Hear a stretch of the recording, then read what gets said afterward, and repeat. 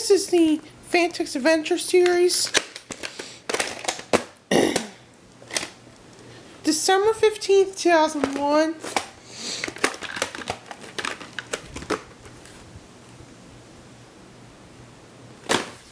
So yeah.